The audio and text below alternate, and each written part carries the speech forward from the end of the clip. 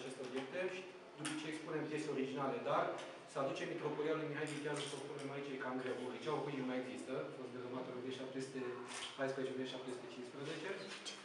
Și am ales această machetă deoarece uh, Mitropolia lui Mihai Vitează, noua Mitropolia lui Mihai Vitează, a fost considerată de Iorga cea mai importantă cetate a românismului din uh, Transilvania. Și tocmai de aceea am uh, considerat necesar să vă prezentăm acest, uh, această machetă. Și pentru că uh, tipografia de pe lângă această uh, mitropolie uh, s-au realizat lucruri deosebite, dar n-am să intru eu în amănunt, am să las pe altcineva să spună acest lucru și am să rog pe colega mea, doctor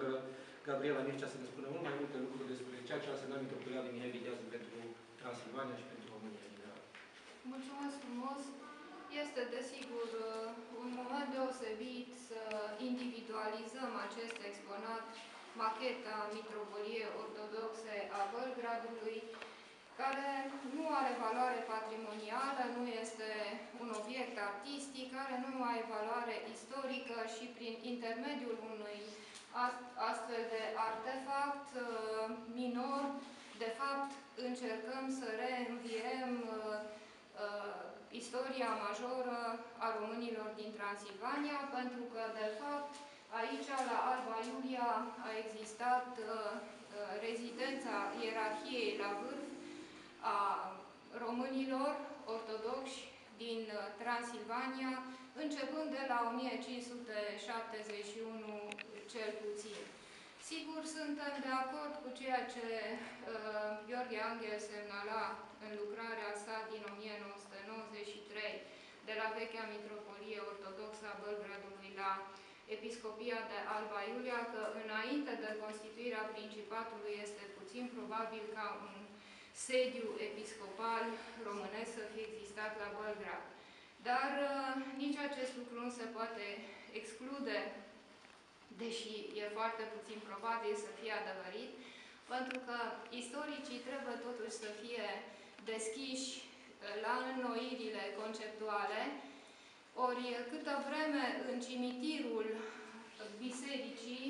de fapt bisericilor de la Alba Iulia pe care le vedem reprezentate în această machetă, s-au uh, găsit monede de secol XIV, se pune problema vechimii bisericii, pe care o vedem, bisericii sală, din uh, planul îndepărtat. Uh, asupra vechimii acestui lăcaș de cult nu s-au pronunțat istoricii, uh, pentru că nimeni nu a îndrăznit să emită, poate din Cornel Cataibaldă, care este mai cunoscător în istoria artelor, să poată să dateze acest lăcaș. este că uh, el a ființat și ar fi putut fi o biserică parohială, mai apoi sediul uh, episcopal și ulterior mitropolitan, organizându-se în jurul acestei biserici românești, care, iată, a existat, uh, poate chiar înainte de constituirea Principatului, aici la Alba Iulia, în zona de sud-est a actualei cetăți bastionare. Uh, sigur, uh, se poate vorbi de episcopul Eftimie, care a fost sfințit, eh, hirotonit la IPEC, de mitropolitul Macarie la 1571, la șirul acestor ierari care și-au avut sediul la Alba Iulia, eh, până la Ioan de Prislop, contemporanului Mihai Viteazu. Și, de fapt, noi, etalând macheta, am încercat să marcăm în luna noiembrie un moment Mihai Viteazul la Alba Iulia și, de fapt, exponatul nostru corelat cu ceea ce vedem cu tapiseria pe care, uh,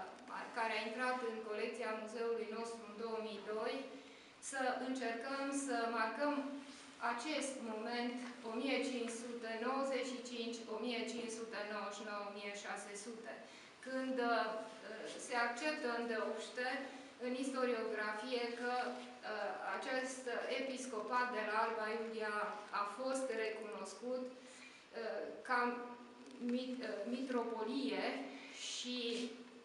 aici, sigur, uh, istorici ca Augustin Bunea, Nicolae Iorga pot fi mobilizați, sigur, venind încoace cu bibliografia subiectului până la Gheorghe Angel și cartea menționată din 1993. Noi încercat să menținem această uh, orientare tradiționalistă, istoriografică și denumirea